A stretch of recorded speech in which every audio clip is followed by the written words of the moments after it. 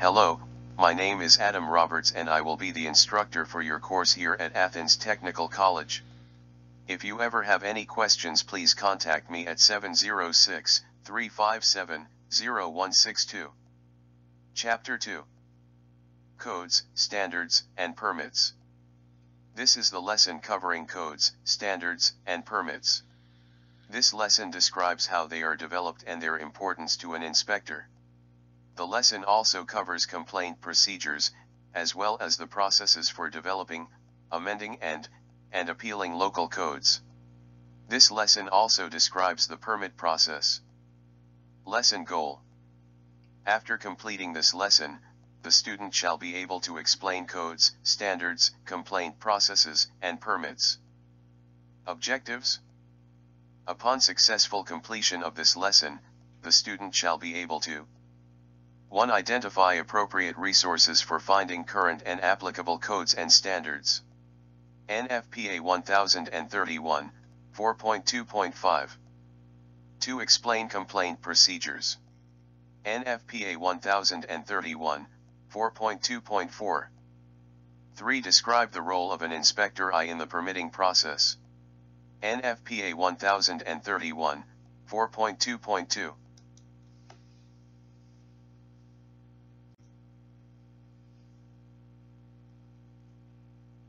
Codes and Standards Pages 41 to 51 Objective 1 Identify appropriate resources for finding current and applicable codes and standards.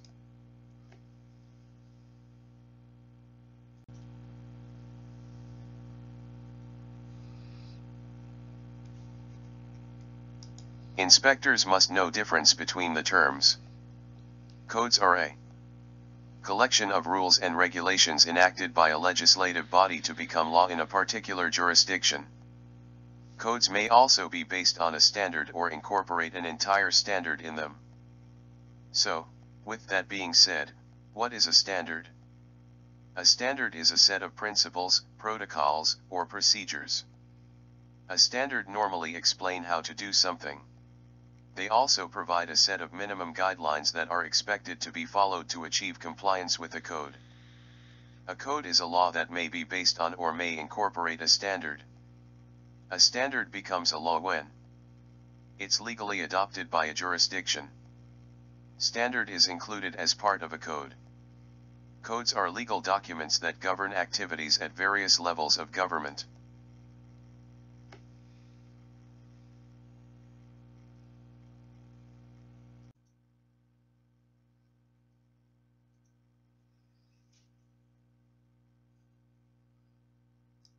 Before the creation of standardized model codes, jurisdictions developed their own codes, which led to a wide variety of acceptable minimum levels of safety and some confusion among manufacturers and contractors who sold materials in multiple jurisdictions. So central organizations were needed to be formed to write consensus or model codes that could be applied universally. Building and fire codes or standards may be classified as either prescriptive or performance-based. Prescriptive-based code slash standard. Also known as a specification-based code slash standard. Describes types of materials that can be used. They describes how those materials must be assembled. Performance-based code or standard. Describes an acceptable level of performance that an assembly, material, or system must meet. Does not state how the item is assembled. This gives the designer greater freedom than a prescriptive-based code slash standard does. Prescriptive slash model codes. Describes a set of requirements that are similar to a standard. They are generally called prescriptive codes. They are developed by a consensus organization such as NFPA or the ICC. Prescriptive slash model codes contain agreed upon requirements for such thing as fire protection, Building construction. Structural safety. Building sanitation. Life safety. Model codes are only enforceable when the authority having jurisdiction adopts them. They may adopt the model code without changes. The code may be amended to address specific local conditions and needs. Inspectors must be thoroughly familiar with the locally adopted code and its amendments. Explanatory commentaries and handbooks are available for some of the codes. Consensus organizations provide training sessions and workshops all the time.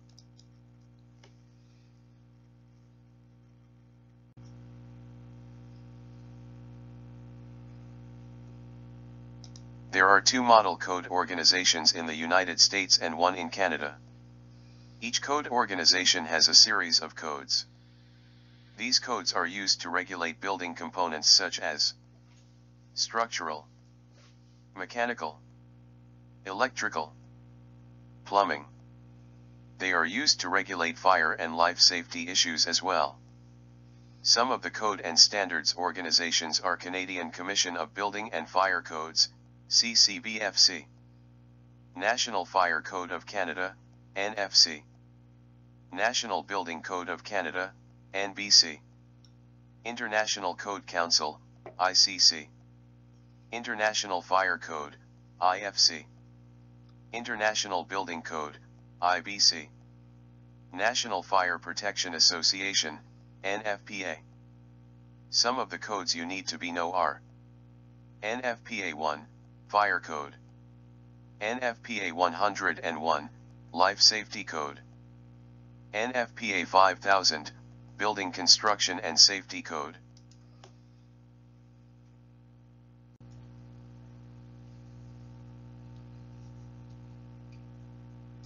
Performance-based design. To address unique buildings or processes when prescriptive requirements do not adequately address the following. Design. Construction. Operation. Maintenance. The resulting solution must provide a safety and dependability level that is equivalent or superior to the model code requirements. One benefit of performance-based design, PBD, is that the fire protection solution can be achieved in a more flexible manner than with prescriptive-based design. For example, in a high-rise, total evacuation may be unrealistic and unnecessary during the initial phase of fire growth. Performance-based design of the means of egress may permit elevator use as a component, enables occupants to move from the floor of the fire origin to an area of safety but not exiting the structure. Difficulties associated with enforcing performance-based codes are that the AHJ must establish acceptance testing criteria Methods of evaluating test data. Procedures for acceptance or denial of test results. Significant technical expertise is required to review and evaluate performance-based designs, often require professional engineers, third-party inspection agencies. Inspectors evaluating PBD options must evaluate or review. The AHJ must also establish how the assembly functions, as it is actually used and should be maintained, not only how it functions under its intended use. Historical design documentation prior to inspection is also important. If a building changes use it must meet and comply with modern fire and building codes which is difficult. Note, the inspector may consult the Society of Fire Professional Engineers in addition to the ICC Code Officials Guide to performance-based design review.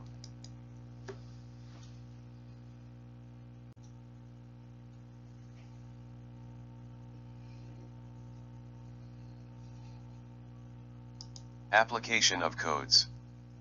Some jurisdictions use locally developed codes. However, most jurisdictions adopt model codes. Inspectors should be familiar with model codes and standards referenced in the adopted code. For example, if the AHJ has adopted the ICC International Building Code, it adopts by reference NFPA 13, standard for the installation of sprinkler systems, this adoption makes it legally binding. Elements of adopted electrical, plumbing, and mechanical codes that reference the fire code or are referenced by the fire code are also important. For example, mechanical code includes installation details for smoke dampers, duct smoke detection, fire protection for commercial kitchen hoods.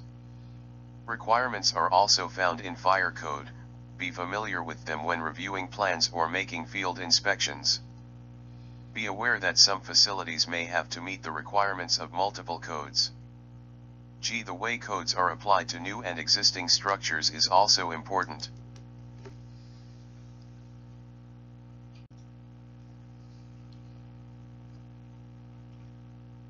Multiple codes. A hospital may need to meet several codes. Such as they may have to meet the locally adopted building and fire codes. A good example is a portion of the facility may have to meet NFPA 101, Life Safety Code because of healthcare licensing requirements in that area and not others. They may also have to enforce more restrictive code requirements or coordinate enforcement efforts.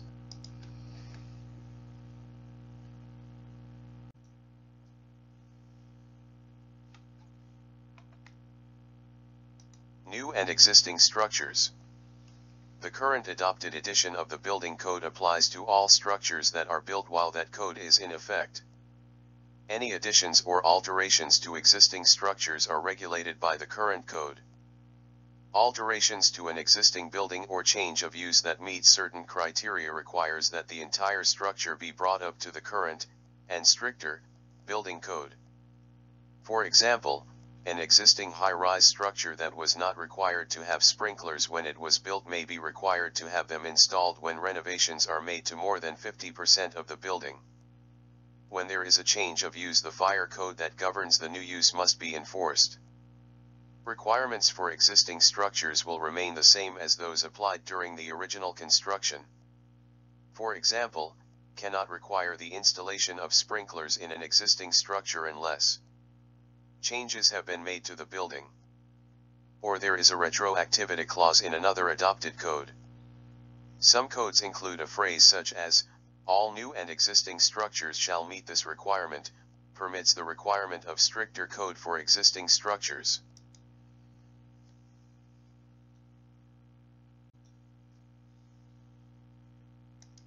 Note, unless inspectors are specifically given authority, they cannot apply current building code requirements to existing structures.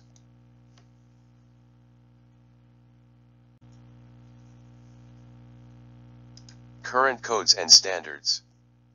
Inspectors must know the adopted editions of codes and standards in their jurisdiction. Codes may be created locally, a zoning code that regulates the size of advertising signs along street or highways. Building and fire codes may be model codes adopted by the jurisdiction as they were published or with amendments.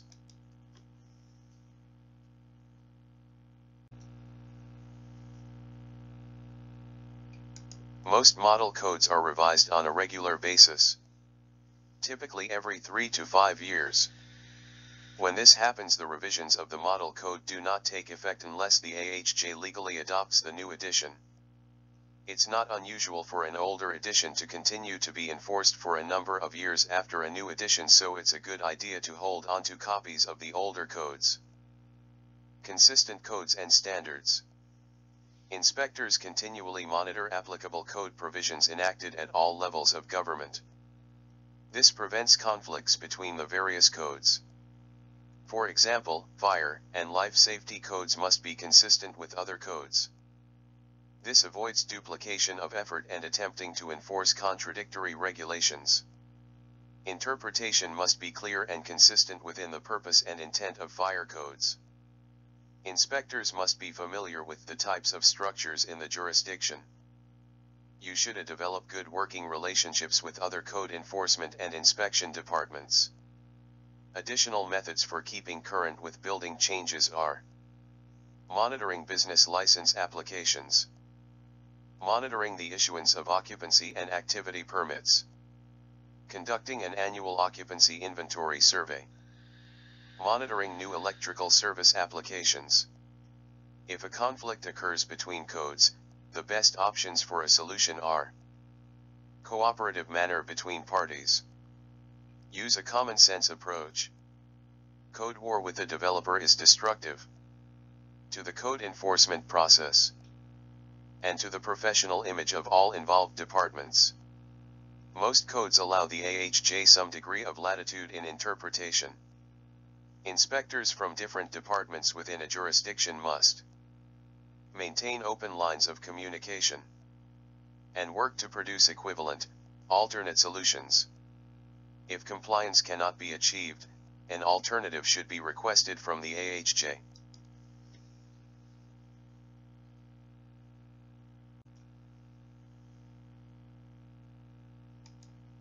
Note, an inspector I should understand the concept of codes while an inspector too should know how to evaluate the performance of materials and practices designed to meet the intent of the code requirement.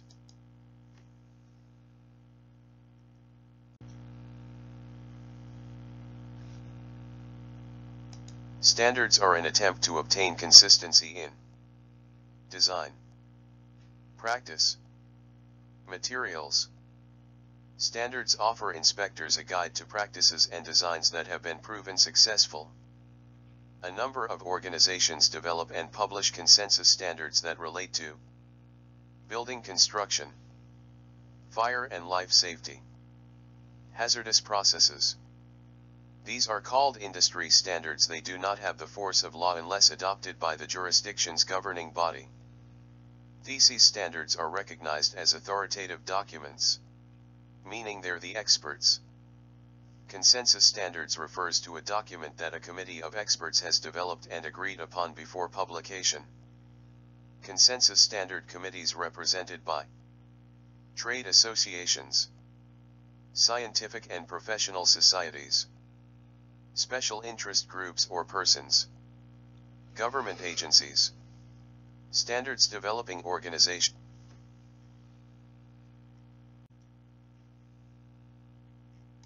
Most prominent organizations in the U.S. include National Fire Protection Association, NFPA, ASTM International, originally known as the American Society for Testing and Materials ASTM, Underwriters Laboratories, UL.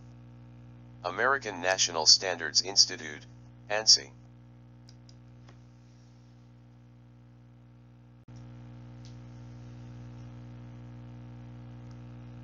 In Canada, each province adopts approved standards independently from the Canadian federal government.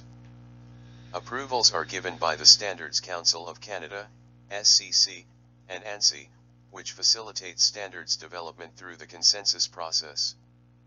National Fire Protection Association, NFPA. ANFPA develops and publishes the majority of consensus standards in the US and Canada concerning fire protection, electrical systems, life safety systems. When the need for a standard is recognized, NFPA invites participants with expertise in that field to form a committee, and develop a draft. The draft is then made public for review and comments. The committee then reviews comments. They may or may not incorporate into finished document. The final version submitted to the NFPA general membership for publication. Inspectors should be familiar with INFPA 1, Fire Code Trademark 2 NFPA 13, standard for the installation of sprinkler systems. 3 NFPA 14, standard for the installation of standpipe and hose systems. 4 NFPA 25, standard for the inspection, testing, and maintenance of water-based fire protection systems. VNFPA 70, National Electrical Code. 6 NFPA 72, National Fire Alarm and Signaling Code. 7 NFPA 101, Life Safety Code. 8 NFPA 241, Standard for Safeguarding Construction, Alteration, and Demolition Operations. 9 NFPA 704, Standard System for the Identification of the Hazards of Materials for Emergency Response. X NFPA 1031, Standard for Professional Qualifications for Fire Inspector and Plan Examiner. 11 NFPA 5000, Building Construction and Safety Code. DNFPA publishes handbooks to help inspectors interpret standards. I may be introduced in legal proceedings to demonstrate accepted industry practices. Two handbooks that inspectors may use include A. NFPA 1, Fire Code Trademark B. NFPA 101, Life Safety Code Handbook. C. NFPA 72, National Fire Alarm and Signaling Code Handbook. D. NFPA 70, National Electrical Code Handbook. E. NFPA 13, Automatic Sprinkler Systems Handbook. F. Fire Protection Handbook. 8 ASTM International. A. A consensus-based standards writing and testing organization. B. Develops testing processes that other testing organizations use in the development of safety products. C. Standards that affect building construction include IE84 Standard Test Method for Surface Burning Characteristics of Building Materials. 2E108 Standard Test Methods for Fire Tests of Roof Coverings. 3E119 Standard Test Methods for Fire Tests of Building Construction. 9 Underwriters Laboratories, UL A independent, not-for-profit product safety testing and certification organization B products that bear the UL label have been tested for their intended use and are certified as safe when properly used and maintained. C provides third-party testing and certification. D developed over 800 standards for safety, some directly relate to fire and life safety. IL 260 standard for dry pipe and deluge valves for fire protection service. 2 UL 268 smoke detectors for fire alarm systems. 3 UL 299 dry chemical fire extinguishers.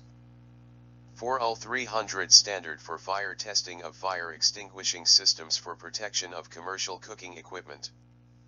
VL 1626 standard for residential sprinklers for fire protection service. 10 American National Standards Institute, ANSI.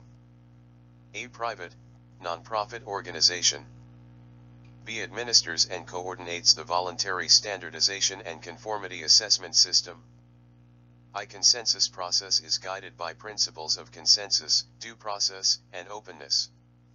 2. Besides accrediting organizations that develop consensus standards, ANSI includes an appeals process for manufacturers who wish to contest test results.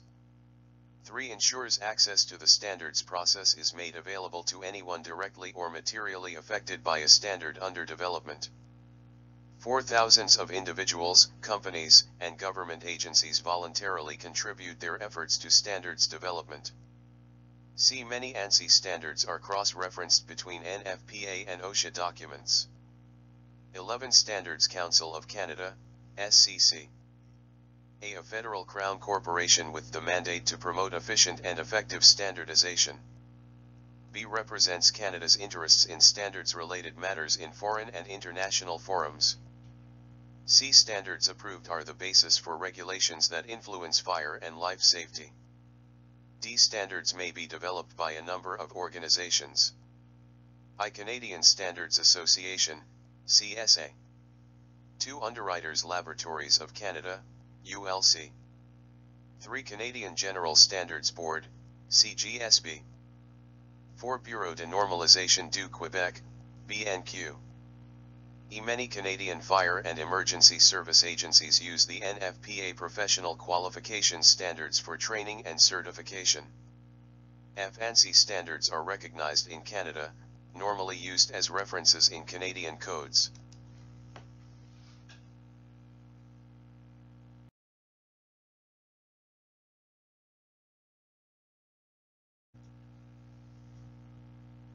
Complaint Procedures Pages 51 to 52 Objective 2, Explain Complaint Procedures.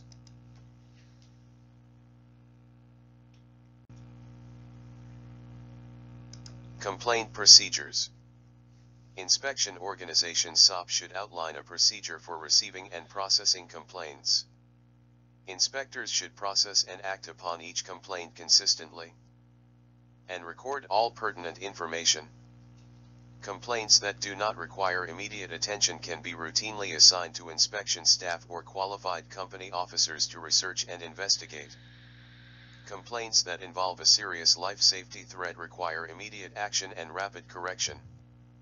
The type of occupancy, location within the occupancy, and severity of the complaint determines whether an inspector needs to give advance notice or to obtain an administrative warrant to enter the location. Voluntary compliance is always a goal, issuing a citation and the subsequent penalty sends a strong message to the community. An inspector must carry and display appropriate identification. Explain the purpose of an unannounced inspection.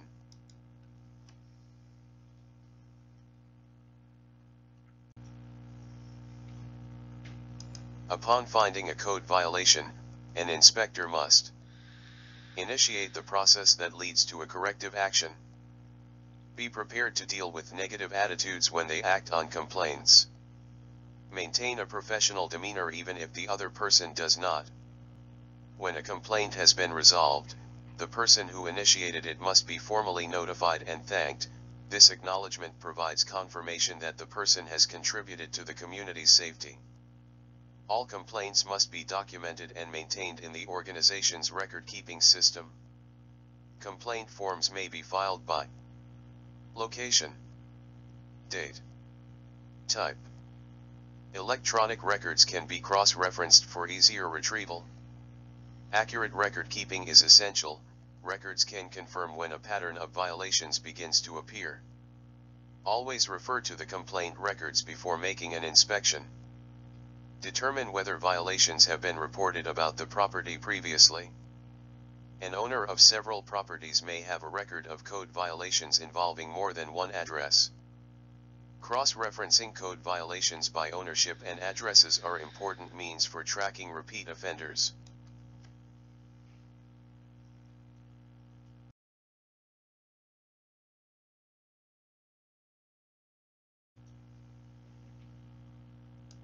Permits Pages 52 to 56 Objective 3 Describe the role of an inspector I in the permitting process.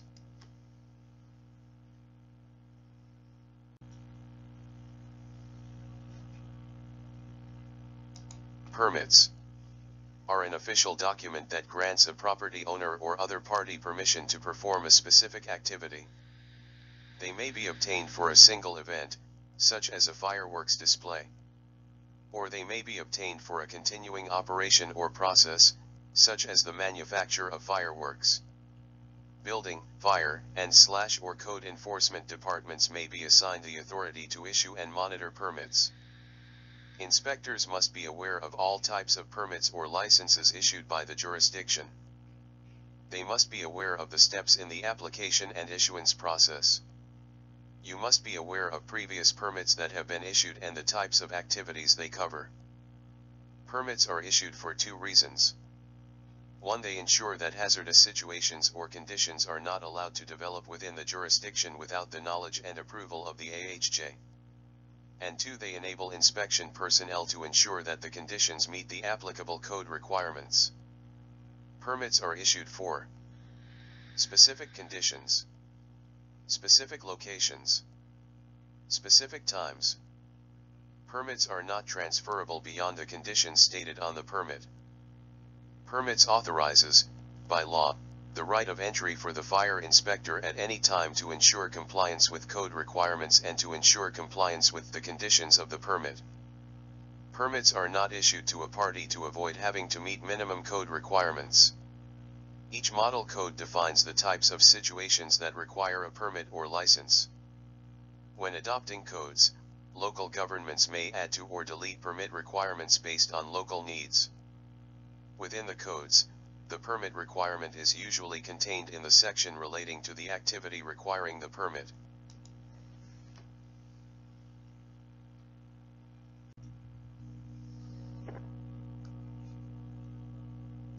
The International Fire Code, IFC, has two types of permits. Operational and construction. Operational permits allow a person or group to conduct an operation or business, specified amount of time or until the permit is renewed or revoked. Construction permits are issued for the installation or alteration of a system or equipment. NFPA 1 does not make this distinction between operational and construction permits. Operational permits are used to regulate certain activities, including storage, use, dispensing, and handling of hazardous materials, and hazardous operations or processes. Installation slash operation of equipment in connection with hazardous operations, maintenance, and storage are also covered. Operational permits also address open burning. Temporary membrane of structures or large area tents. Construction permits. The IFC requires construction permits for the installation of fire protection system, they are also required for the repair, abandonment, removal, storage, or use of a particular item, such as automatic fire extinguishing systems, medical gas systems, standpipe systems, fire alarm and detection systems related equipment, spraying or dipping processes, private fire hydrants, fire pumps and related equipment, industrial ovens, flammable and combustible liquids, hazardous materials, compressed gases and cryogenic fluids, liquefied petroleum gas, temporary tents and membrane structures. Review que see pages 52 of